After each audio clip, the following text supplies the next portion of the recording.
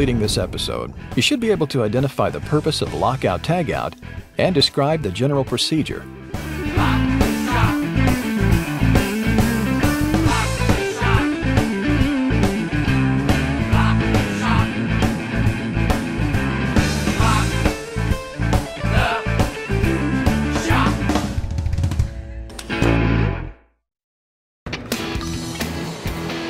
Lockout tagout is a method for protecting people and equipment by identifying, de-energizing, and isolating potentially hazardous energy sources before performing work on equipment. Here's a general overview of proper lockout tagout. First, notify all affected employees that servicing or maintenance is required and the machine or equipment must be shut down and locked out to perform the work. Next, do an initial evaluation of the job to identify all potentially hazardous energy sources and other hazards. Obtain any necessary work permits and notify personnel work is about to begin. Shut down, isolate, and lock out or block all potentially hazardous energy sources using proper procedures. Apply completed tags to the lockout devices to identify the work being performed and the people involved. Flags are often attached to lockout devices as a way to highlight the locked out and tagged condition. Clear the area of personnel and test energy isolation by trying local switches, valves, or other startup devices to ensure the potentially hazardous energy sources cannot be activated. Once work is complete, the lockout tagout procedure moves to proper startup. First, be sure all work areas are clear of personnel and tools. Reinstall all removed safety guards. All locks and tags can be removed in the order applied or as individuals complete their assigned tasks. The final lock and tag should be removed by the operator. Verify equipment controls are still in the off or safe position, and then re-energize energy sources. Discard use tags, unless the tags are the reusable type, and return locks to designated storage areas. Check once more to be sure personnel are clear and aware of the startup, and then restart the equipment to check for proper operation. Be aware your company may have specific procedures somewhat different from these general guidelines, but the principles are the same. To notify affected personnel, identify potentially hazardous energy sources, then isolate and lock out or block the potentially hazardous energy sources so people and equipment are protected while work is being performed.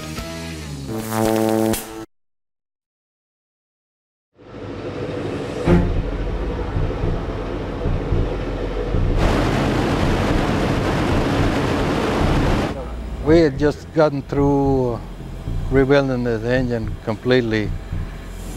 Well, lifters went out. We changed a couple of them. We couldn't do much without the catwalk, so we shut down to get them back in place. We had seven or eight guys, and, and you know, it, it's easy to lose touch of one. Jim got took the other two bolts off, took the panel out, got in there and started greasing it. And I wasn't aware that he was in there. And I had uh, the crew and the contract mechanic on site, and I didn't even think about Jim, you know, since I figured we communicate to them well that uh, I don't have to keep an eye on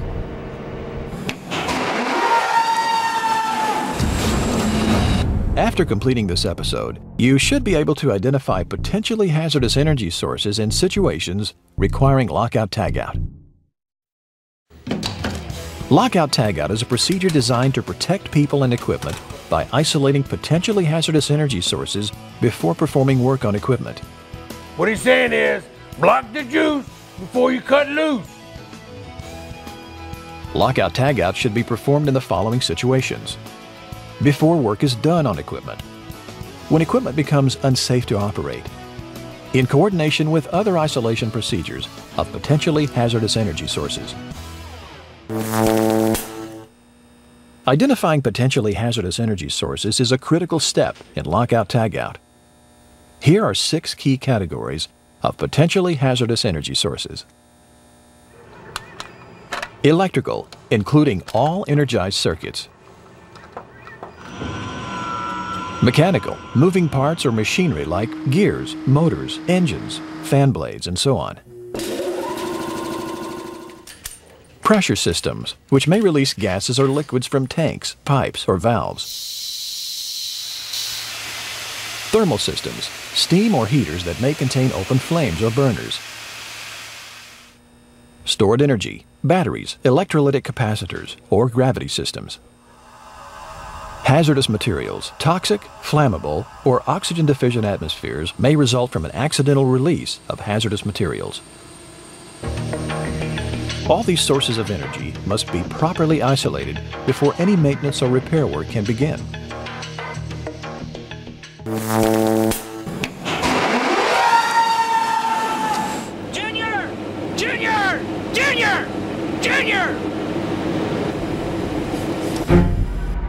First thought was someone's got hurt bad because all I saw was legs and I knew that propeller was turning in there, that prop, and I didn't see no upper body. And I just figured we, someone was hurt and hurt bad. and uh, the blade hit me right beside the head. And then I don't know whether it knocked me back or whether I just jumped to get away from it. He was real lucky there. that He didn't even get the scratch. Probably if uh, Jim would have slapped a tag on it, I, I, I wouldn't have started. Just as simple as that.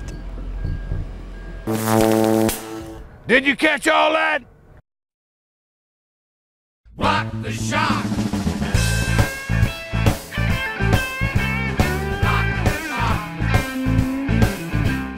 Listen up. You won't get bagged if you know your locks and tags. After completing this episode, you should be able to identify lockout devices, tags, and their uses. Lockout devices lock or block potentially hazardous energy sources in the off or safe position, so work can be performed safely on equipment. Common lockout devices include locks, chains, and wedges. Your company may provide other hardware for isolating, securing, or blocking equipment from energy sources. If the isolation procedure involves a keyed lockout device, each person should have their own lock and key. These locks should be standardized and used exclusively for lockout tagout. Never share or loan your lockout device or key. Chains are commonly used to secure valves, flywheels, and other components to prevent the release of kinetic energy. Chains should be locked and tagged after being put in place. Wedges are designed to prevent the movement of wheels, gears, and other rotating components. Be sure to place the wedge so the rotating component would spin onto the wedge if accidental startup occurred. Wedges are typically used as a secondary form of isolation since there is a possibility misplaced wedges could pop out during accidental startup. Okay, let's make sure your head isn't locked out. Okay, let's continue. Tags are used to identify equipment being locked out for maintenance or service and should have the words Danger, do not operate. All lockout devices should be accompanied by a completed tag, including the employee name, equipment being serviced, nature of the work, and the date and time the tag was attached. Never ever remove lockout devices or tags until work is completed and startup is underway. Remember this tags are not substitutes for a lockout device. If you can lock it, do it. Sometimes, however, there is no physical way to lock out equipment. In this case, consult your supervisor or safety manual to determine proper procedure. Depending on company policy, tags alone may serve as the way to alert workers to a locked out condition. Flags are often attached to lockout devices and tags as a way to highlight the locked out condition. Check your company policy regarding flag use during lockout tagout. We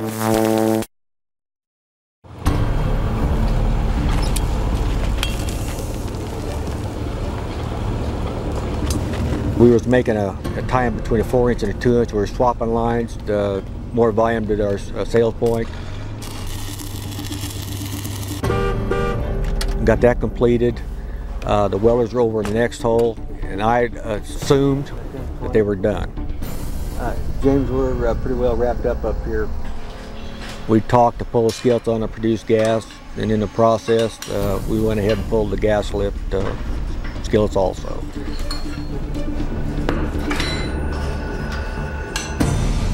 we was making uh, one well, you know, one tie-in, we was finishing. And then we was gonna make a two inch cut to make the last tie-in. So we went over and strike arc to the, to the bevel machine or the torch, and then that's when the gas ignited.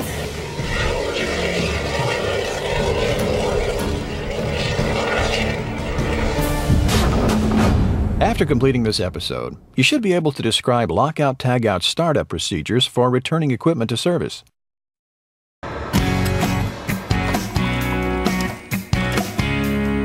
Once maintenance or service is complete, the process for removing locks and tags and restarting equipment begins. The re-energizing of potentially hazardous energy sources after routine maintenance or service is called startup. There are four essential steps to startup. Prepare, remove locks and tags, notify all affected employees, and restart and test the equipment.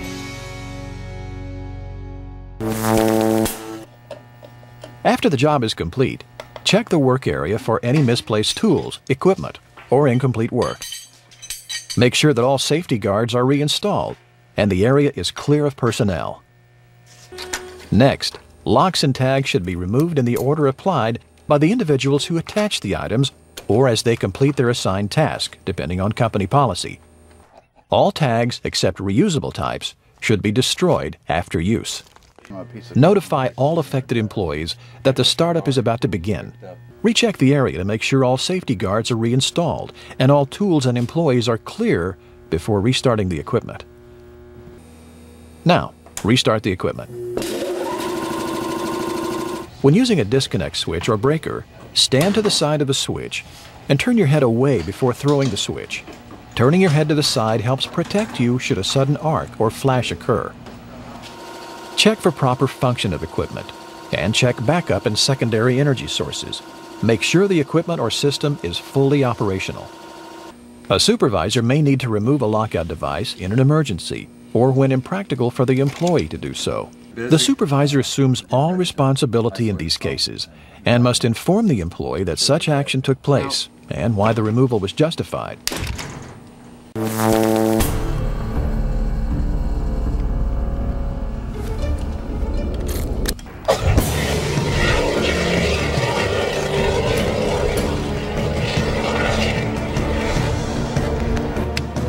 Got the uh, call that we had a fire, I uh, immediately went back to the location where the fire was occurring. Needless to say, my adrenaline was flowing. I mean, I come out of the truck pretty quick, checked, and when I saw all the people standing, I had a sigh of relief.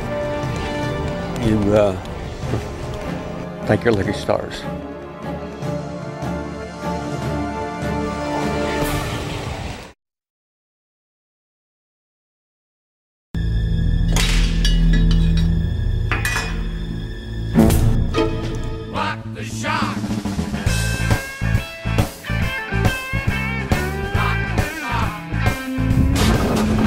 Completing this episode, you should be able to describe proper electrical lockout tagout procedures.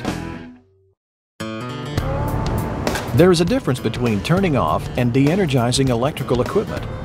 Engaging the stop switch is not good enough because you only disable part of a circuit. Some electrical systems have secondary or override circuits. To properly de-energize equipment, you must disconnect the power supply, lock it out, and tag it. All affected employees, especially equipment operators, must be notified of the work activity before power is turned off. A sudden loss of power could cause injury, process upset, or equipment damage. Do an initial evaluation of the work activity with the equipment operators and the personnel performing the work. The evaluation should identify potentially hazardous energy sources for lockout and procedures for obtaining work clearances. Those clearances must be obtained before work begins. After completing the initial evaluation and notifying all affected employees, lockout tagout can be completed in four basic steps. Lock, tag, clear, try. The operator should first turn off the local switch and disconnect the power supply. Then apply his lock and completed tag to the disconnected power supply. Never disconnect the power supply of equipment under load. Always shut down the equipment first, and then disconnect the power supply. When operating a disconnect switch or breaker box, stand to the side of the enclosure where the switch is located and turn your head away before throwing the switch. This will help protect you should an unexpected arc or flash occur. Locks should be standardized and used only for locking out energy sources. Each authorized employee should have their own key. Others involved in the work should apply their approved locks and completed tags in a predetermined order after the operator. Each employee who applies a lock should also complete a tag with the employee name, date, time, and nature of the work being performed, and attach the tag to their lock. The tag should have the words, Danger, do not operate. Next, clear the area of all personnel. Also, keep all tools out of the area until locks and tags are applied. Before any work begins, try to start the locked out equipment. This is a vital step in electrical lockout tagout because it verifies you have successfully de-energized the correct circuit and overrides.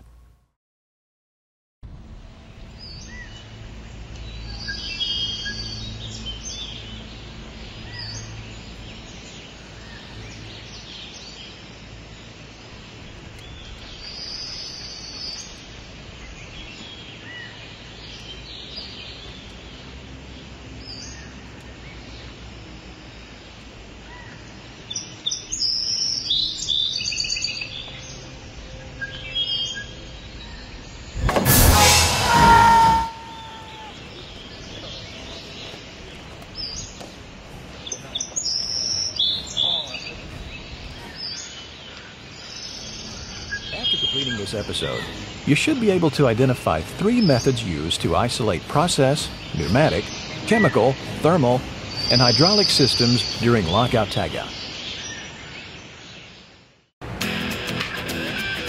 Equipment operating with process, pneumatic, chemical, thermal, or hydraulic energy sources requires special attention during lockout tagout because there may be highly pressurized fluid systems in place. These fluids can be safety and fire hazards and must be identified by type and property before work begins. These systems also may have significant amounts of fluid that could be released suddenly as kinetic energy stored in lines, pressure vessels, gas tanks, or similar storage units. In addition to standard lockout tagout procedures, specific isolation methods are therefore necessary when preparing such equipment for repair or maintenance. Blinding, disconnection, and double block and bleed are three such methods. Blinding is the insertion of a metal plate between pipe flanges to prevent fluid flow and should be done as close as possible to the equipment being isolated.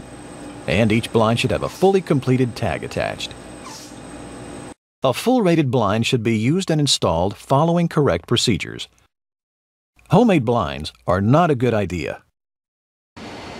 A blind list should be kept for all blinds installed. Disconnection simply means separating the fluid line at a point upstream of the equipment. Flanges or pipe ends should be turned away from each other or moved off center after disconnection to ensure no accidental reconnection or fluid flow between the pipe ends. Like blinding, disconnection should be done as close as possible to the equipment being worked. Double block and bleed means closing a valve to prevent fluid flow, then opening a bleed or vent valve upstream of the closed valve to void the system of fluid, and finally closing a second block valve upstream of the bleed or vent valve. Closing the second block valve provides an added layer of protection since there is always the possibility a valve may leak. All block valves should be locked out and tagged after closing. In some cases, chains may be needed to lock the valves closed. Be sure to reuse or dispose properly of all fluid bled from the system. Here's a key point. Any equipment supplying pressurized fluid to the system, such as hydraulic pumps, must be properly shut down, locked, and tagged before using any of the isolation methods discussed. Otherwise, you may get a nasty surprise. On-site policies determine which method to use when isolating equipment using any of these energy sources. Decide on the method during the initial evaluation of the job, then follow all established procedures for isolation. System components like hydraulic accumulators or air reservoirs can also retain potentially hazardous energy and should be isolated, released, or de energized to prevent unexpected release or startup. Using proper isolation procedures for hydraulic and pneumatic equipment will ensure a zero mechanical state while work is performed. Block the shock!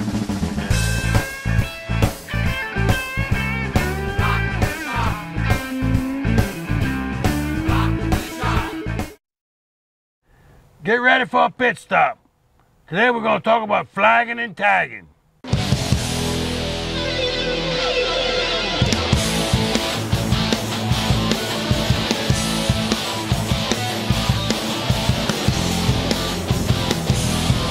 And at the finish line is safety first. After completing this episode, you should be able to explain the importance of tagging and flagging. Tags and flags provide visual communication signaling lockout conditions are present. Tags are used to identify locked out equipment. Tags should be red, black, and white and have the words Danger, Do Not Operate. Space should be provided for the employee's name, equipment being serviced, nature of work being performed, and the date and time. A completed tag should accompany all lockout devices. Tags and flags are not substitutes for lockout devices. If you can lock it, do it. In rare cases where energy sources cannot be locked out, consult your supervisor or company safety policy as to whether a tag alone is sufficient for lockout. Flags are used to highlight locked out and tagged conditions in areas not easily accessible or visible. Flags should be orange or bright red in color. Flags enhance communication to other workers that lockout conditions are present. Once work is complete, all used tags should be removed and destroyed unless they are the reusable type. Be sure to throw away used flagging material. This helps communicate that work is complete. Never ever remove lockout devices, tags, or flags until work is complete and startup is underway. If you are not part of the work activity, do not attempt to start equipment that is locked, tagged, and flagged.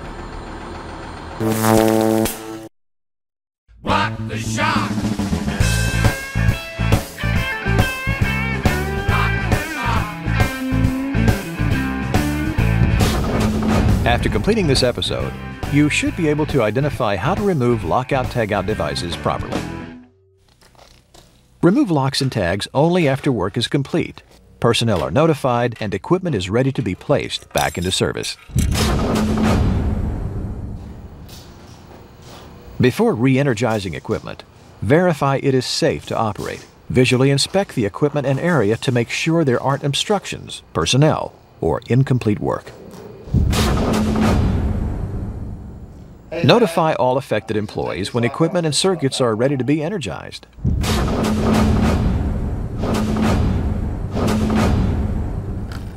Remove all lockout devices. Each employee should remove their own lock and tag in the reverse order the devices were applied, depending on company policy. The last person to remove their lock and tag should be the operator, who should also remove the multi-lock lockout. The operator should restart the equipment, bring it up to operating conditions, and check for proper function. Electrical switchgear should be operated only by qualified personnel. All used tags should be destroyed unless they are the reusable type. In an emergency, or if circumstances make it impractical for the employee to remove their own lock and tag, the supervisor may remove the lock and tag. The supervisor must assume full responsibility for removing the lock and tag. The supervisor is also responsible for notifying the employee that their device was removed and why. That's a wrap! Remember, block the shock!